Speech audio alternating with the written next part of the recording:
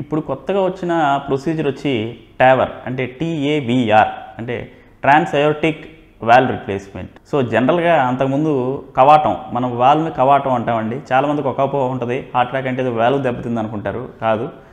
Valve అంటే కవాటం heart attack వచ్చేది మాత్రం రక్తనాళాల్లో. సో గుండె పైన రక్తనాళాలు ఉంటాయి దానిలో బ్లాక్స్ వల్ల వచ్చేది హార్ట్ అటాక్ గుండె లోపల గదులకి మధ్యలో అడ్డం గదులకి మధ్యలో మనకి బ్లడ్ సరఫరా అటాక్ ఉండేది కవాటాలు అంటాం. సో ఈ కవాటాలని జనరల్గా ఏదైనా మార్చాలంటే ఓపెన్ హార్ట్ సర్జరీ చేయాల్సిందే. అంటే చెస్ట్ దగ్గర ఇక్కడి నుంచి ఇక్కడ వరకు ఓపెన్ చేసి హార్ట్ని ఓపెన్ చేసి కవాటం మారుస్తూ ఉంటాం. కానీ ఇప్పుడు వచ్చిన ప్రొసీజర్ టావర్ అనేది ఏంటంటే సో ఈ కవాటాన్ని తొడ నుంచి చేసేయచ్చు.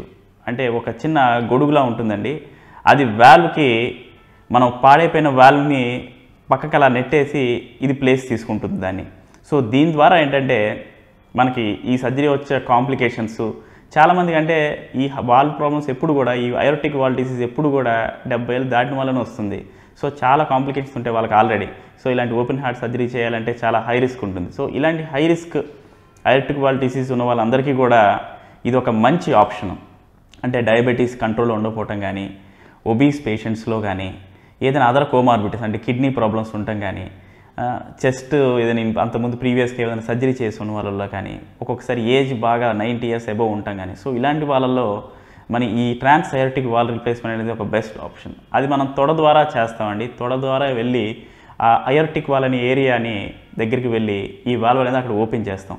సో దీనికి అనేది చాలా ప్రీ ఆఫ్ వర్కప్ అనేది ఉంటుంది.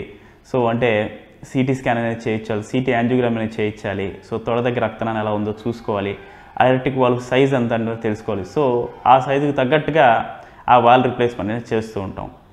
So minimally invasive cardiac surgeries ఎలాగో మనకు తెలుసు. అంటే చిన్న కోతతో సర్జరీస్ చేసేటట్టు. సో ఇది కంప్లీట్లీ ఇంకా డిఫరెంట్. ఇంకా మనకి కోత అనేది ఎక్కడ కూడా కట్ కట్టిక్ అనేది ఉండదు.